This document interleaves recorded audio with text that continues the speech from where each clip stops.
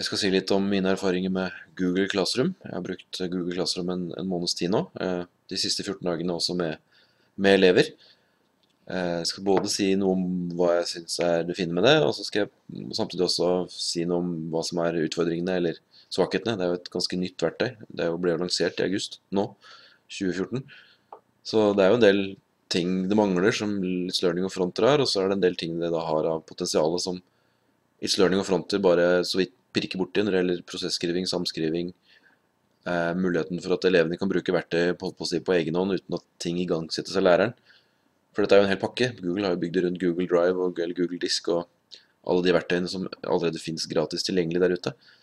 Eh, Classroom er da bygd rundt det, sånn at man, altså ikke rundt, men altså som et overbygg, da, hvor man også har eh, som lærerbruker anledning til å administrere brukere og, og sånne ting. Og definere fag og og putte elever inn i fag og, og litt sånne ting. Her er da uh, mine fag. Jeg har, uh, I år så har jeg historie med tre klasser, og så har jeg samfunnsfag med én klasse.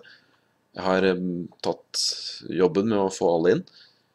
I utgangspunktet så var det litt klønete å få alle inn, for man må opprette de brukerne sjøl. Man kan ikke bruke elevenes egne gmail-brukere hvis de skulle ha noe sånt noe. De, man må først opprette et domene. Det gjør man for så vidt i den søknadsprosessen når man kommer inn på Classroom som, som lærer. så så må man søke om å få bruke Google Classroom, og da må man også opprette et domene. Jeg valgte da skedsmovgs.org som, som mitt domene, så alle brukerne, inkludert jeg, som er admin-bruker, har da en e-post, eller en, en bruker, brukernavn som er da skedsmovgs.org-basert, som da elevene og jeg, jeg har jo også en del andre Gmail-brukere, må bruke eh, ved siden av de andre brukerne. Og det, det funker fint å, å skvette mellom de. Man, man styrer jo hvem, og hvem, man på en måte er til et virksomhetstidspunkt her. Så, hvordan ser det ut inne i et fag? Først så må man jo opprette et fag, da gjør man her, lage et kurs. Og så, når man har gjort det, så kommer man inn i en sånn eh, en strøm, for å si det sånn. Det er jo en, en fagside da, hvor på samme måte som en Facebook-gruppe, så vil nye beskjeder havne øverst. Uh, og for så vidt også East Learning og Fronter, så har de har jo tilsvarende funksjonalitet for, for det. Her er da oppretta en, eh, en, oppgave hvor noe to er ferdig og 14 ikke er ferdig, ser dere.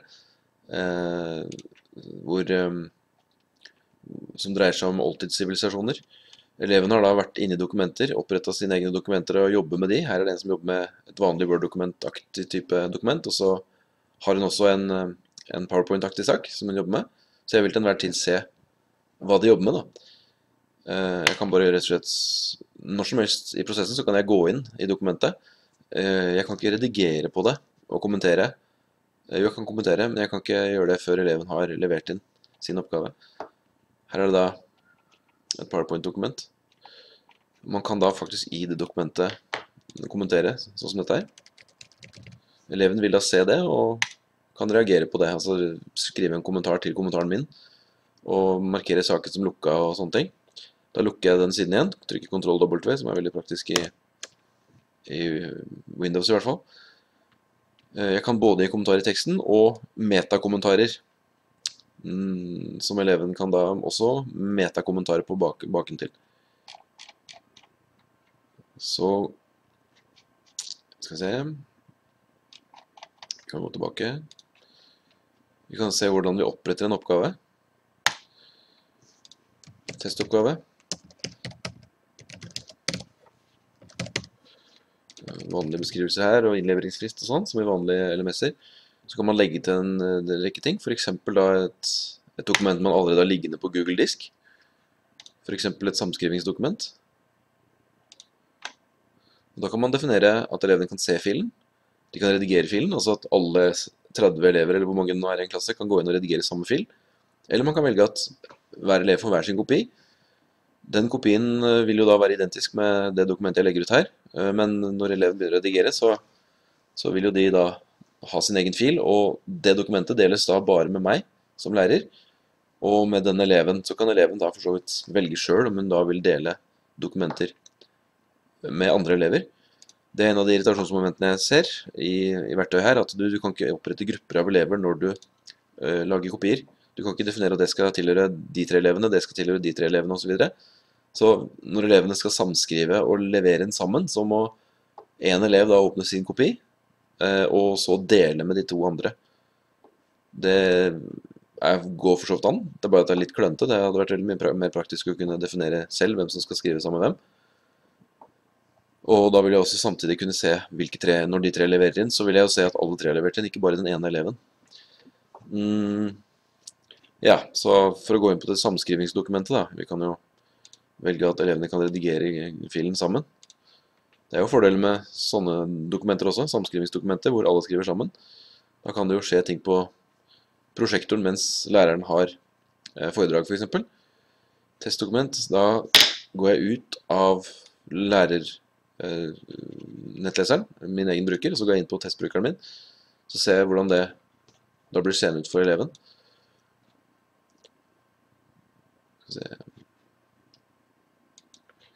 Går ut igjen. Her da, samskrivingsdokument.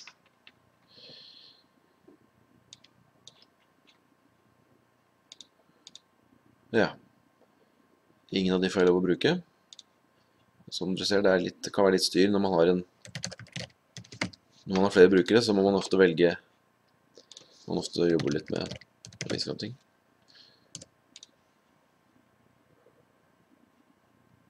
Sånn. Her har jeg da rett og slett et dokument som gikk på elevsamtaler. Hvem, hvem har tid til å ha elevsamtaler når? Så la alle inn sine fakta i, i dokumentet. Det kan bli litt kaos når man har samskrivingsdokument. Elevene er litt sånn bøllete de første ukene og syns det er veldig gøy å skrive hverandres dokumenter og slette hverandres tekster og litt sånne ting, men man har jo da endringsloggen som gjør at man kan se hvem som har gjort hva her. Veldig, veldig greit. Så kan man gå tilbake til tidligere utgaver av dokumentet og se hvem som gjorde hva når og sånne ting. Skulle man ønske det. Det er veldig fint å se det når man samskriver, at se hvem som har gjort hva. For å kunne vite at det ikke har vært noen gratis passasjerer på, på gruppene. Det vil jo være vanskelig å vite hvis man ikke har den endringsloggen. Uh, sånn er det. Disse samskrivingsdokumentene har jeg hatt stor glede av, nå går jeg tilbake til da lærebrukeren, i, uh, i et annet fag. Dette er jo 3KMA, så hvis jeg da går inn i 3STD, eh, Classroom, dette er da, jeg vil jo se alle dokumenter som opprettes i Classroom, vil også synes i Google Disk. Det er jo to verktøy som bare viser ting på litt forskjellige måter i 3STD-historie så har jeg opprettet en felles mappe, mappe som alle har tilgang til. Når jeg har foredrag, så spør jeg om to-tre elever kan samskrive, notere fra foredraget. Det er jo alltid sånn at noen elever foretrekker å sitte og høre på, og andre liker å skrive samtidig som de hører på, og da har de dette fellesdokumentet som de da jobber på sammen, eh, skriver på, mens jeg da prater og har foredrag og sånn. Det synes jeg funker litt fint, for da, da har de også en oppsummering liggende som de selv har lagd i denne felles mappa spennende. Um, andre irritasjonsmomenter når det gjelder bruk, er jo da at man ikke kan være flere lærere i et fag. Det er også en svakhet i systemet her. Man har bare én lærer per fag, så det er bare én som automatisk kan få delt alle dokumenter. Det er sikkert noe som rettes opp, på samme måte som det med, historie, det med grupper eh, vil komme. Det er jo et ønske om det. Hvis man ønsker å følge med på hva som skjer i classroom-verdenen, så bør man følge med på den gruppa her i Google+. Det tilsvarer for så vidt Facebook-grupper, bare at her skjer det jo da i Google, Google+. Her skjer det stadig ting. Det er jo en del brukere som da er inne og spør og ber om features og litt sånne ting, så det er litt sånn ivrige pionerdager innen Google Classroom. Så det er vel det viktigste av det som var når det gjaldt Classroom. Jeg kommer til å fortsette å, å bruke det. Uh, det blir litt rotete med en sånn strøm som stadig flytter seg oppover. Det er foreløpig ikke noen mulighet for å feste ting på siden her og sånn. Det, det, bruker jeg foreløpig It's Learning til. Jeg bruker også It's Learning til å lage tester og sånn multiple choice-tester og digitale tester og sånn, for It's Learning har jo da plagiatkontroll og en del sånne ting som ikke Classroom har. Men eh, det er noe med det å bruke det verktøyet som egner seg best i en virksomhetssammenheng, og da, da blir det sånn da, man bruker, plukker litt her og litt der. Takk for meg.